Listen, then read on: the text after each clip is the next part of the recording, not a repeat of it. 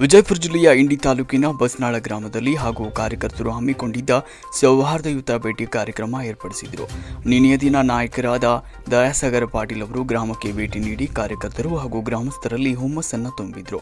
ಸುತ್ತಮುತ್ತಲಿನ ಗ್ರಾಮಗಳಾದ ಕೊಟ್ನಾಳ್ ಅಗಸ್ನಾಳ್ ಕ್ಯಾತನಕೇರಿಯ ಹಿತೈಷಿಗಳು, ನಾಗರಿಕರು, ನಾಯಕರು ಹಾಗೂ ಗ್ರಾಮಸ್ಥರು ಕಾರ್ಯಕ್ರಮದಲ್ಲಿ ಭಾಗವಹಿಸಿದರು.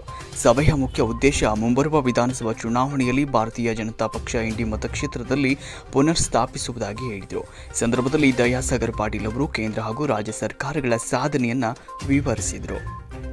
వరది మారుతి గొంతడి మహాయుధ న్యూస్ ఇండియా